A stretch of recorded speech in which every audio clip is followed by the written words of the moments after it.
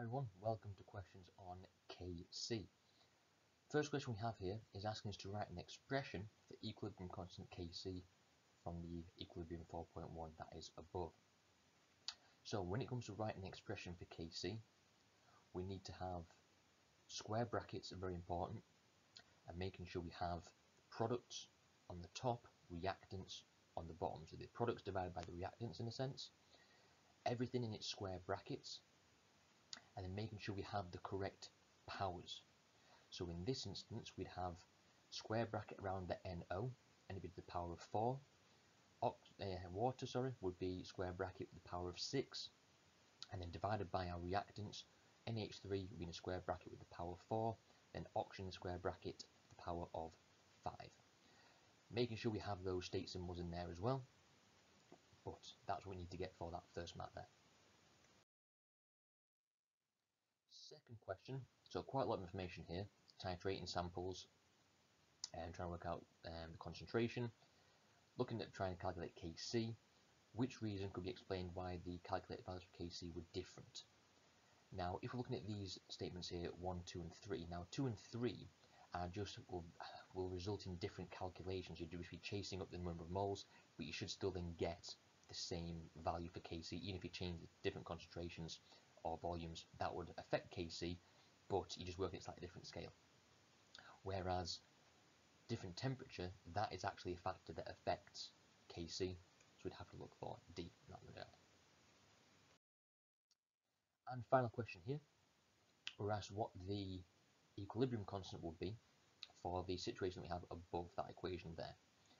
Now, we haven't been given any values, so we can't actually calculate it, but we don't need to if we look at A through D, our answers, we then see, okay, we've got same answer twice, but then the units are different.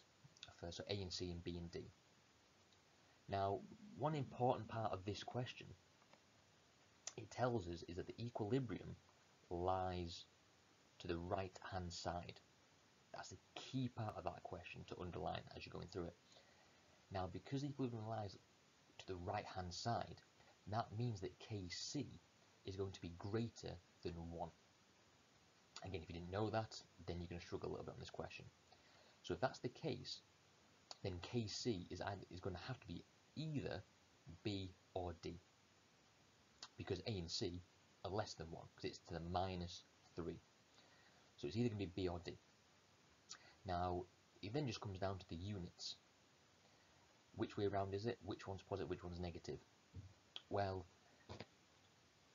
just to give a very quick explanation as to why the answer is D, is because we'd have our products would be at the top and our reactants would be on the bottom.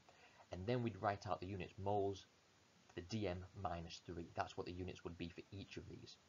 Now, the two lots of units for water would cancel out with the two units for NO, for nitrogen monoxide. Then what would happen is we'd cancel out the nitrogen's units on the top, but then just one lot of units for the hydrogen that's on the bottom. So we'd have 1 divided by mole to the dm minus 3. But we don't have units as 1 divided by mole to the dm minus 3. We'd take that and we'd flip it. So therefore it would become mole to the minus 1, dm to the 3. We would change those signs but we tend to write the positive units first, so therefore it's dm to the 3 mole to the minus 1.